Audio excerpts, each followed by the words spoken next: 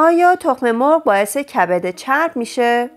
اگه عاشق تخم مرغی ولی شنیدی که ممکنه برای کبد ضرر داشته باشه حتما این ویدیو رو تا آخر ببین.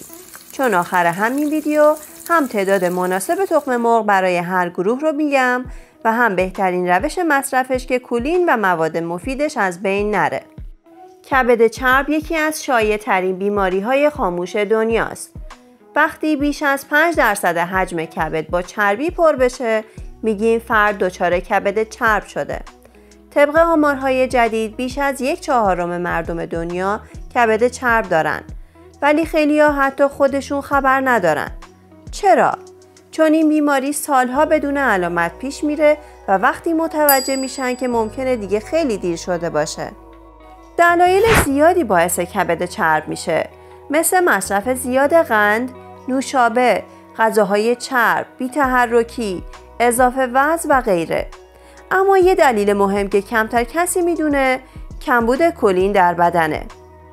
کلین یه ماده مغذیه که برای سلامت کبد فوق‌العاده مهمه. بدن مقدار کمی ازش می‌سازه و بیشترش باید از طریق غذا وارد بدن بشه. اگه کولین کافی به بدن نرسه، چربی ها نمی‌تونن از کبد خارج بشن و اونجا جمع میشن و باعث کبد چرب و حتی نارسایی کبدی میشن. اگه تا اینجای ویدیو برات جالب بوده لطفا همین الان یه like بزن که انرژی بگیرم برای ادامه.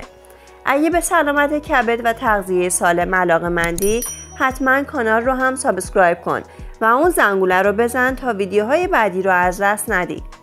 تخم مرغ مخصوصا زردش یکی از بهترین منابع کولینه. هر تخم مرغ حدود 147 میلی گرم کولین داره که حدود یک سوم نیاز روزانه بدن رو تعمین می‌کنه و جالب اینجاست که کولینی که از تخم مرغ جذب میشه چهار برابر بهتر از مکمل ها جذب میشه. کولین توی بدن تبدیل میشه به فسفاتیدیل کولین که برای ساخت VLDL ضروریه. VLDL هم همون چیزیه که چربی رو از کبد می‌بره به جاهای دیگه بدن. بدون کولین چربی توی کبد گیر می‌کنه و مشکل درست میشه.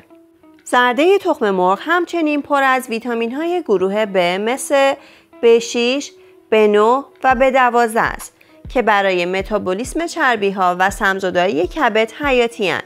تخم مرغ همچنین لوتئین و زاگزانتین داره که آنتی های قویی هستند و سلنیوم که جلوی التهاب کبدی رو می‌گیره و به عملکرد آنزیم های کبدی کمک می‌کنه. خیلی ها نگران کلسترول تخم مرغن اما خبر خوب اینه که حدود 80 درصد کلسترول بدن رو خود کبد تولید می‌کنه و فقط 20 درصد از غذاها جذب میشه. یعنی اگه تخم مرغ بخوریم کبد تولید کلسترول رو کم می‌کنه تا تعادل برقرار بشه به شرط اینکه کبد سالمی داشته باشی. و برخلاف تصور عام کلسترول غذایی رابطه مستقیمی با کلسترول خون نداره. تحقیقات جدید نشون داده که تخم مرغ تاثیر ناچیزی روی کلسترول داره و حتی می‌تونه تولید خودکار کلسترول کبدی رو تنظیم کنه. یه نکته جالب دیگه وقتی پوست در برابر آفتاب قرار می‌گیره کلسترول تبدیل به ویتامین دی میشه. کمبود ویتامین دی با کبد چرب رابطه مستقیم داره پس اگه تخم مرغ می‌خوری حتما روزی چند دقیقه هم زیر نور آفتاب باش تا اثرش روی کبد چند برابر بشه.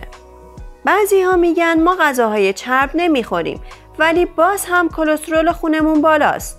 دلیلش ممکنه کبد چرب یا نارسایی کبدی باشه یعنی کبد نمی‌تونه تولید کلسترول رو درست تنظیم کنه. یه مطالعه علمی جدید نشون داده افرادی که هفته ای 3 تا 4 تخم مرغ مصرف می‌کنن کمتر به کبد چرب دچار میشن. اما تعداد مصرف به وضعیت بدن بستگی داره. افراد سالم هفته ای 5 تا 7 عدد. افراد دیابتی 3 تا 4 عدد. بیماران قلبی پیشرفته با مشورت پزشک و کمتر. و اما ورزشکاران چطور؟ بله اونا چون متابولیسم بالا و حساسیت انسولینی خوبی دارن گاهی روزانه 6 تا 7 عدد هم مصرف می‌کنن و مشکلی ندارن. نحوه صحیح مصرف تخم مرغ آبپز یا بخارپز که بهترین حالت برای حفظ کلین و پروتئینه. نیمرو یا اصلی با حرارت پایین املت با سبزیجات عالیه بدترین روش مصرف تخم مرغ تخم مرغ سرخ شده با روغن زیاد سخاری یا همراه با سوسیس و کالباس. تخم مرغ خام هم خطر داره چون ممکنه باکتری سالمونلا داشته باشه. همچنین تخم مرغ محلی و ارگانیک ارزش غذایی بیشتری داره. پس نتیجه این که تخم مرغ نه تنها باعث کبد چرب نمیشه بلکه به شرط مصرف درست یه محافظ واقعی برای کبده. مهم اینه که کیفیت تخم مرغ بالا باشه روش پخت درست انتخاب شده باشه و در کنارش سبک زندگی سالم داشته باشیم. اگه این ویدیو برات مفید بود حتما لایک کن و برای کسی که نگران کبدش هستی بفرست تا ویدیو بعدی سالم بمون و هوای کبدتو داشته باش.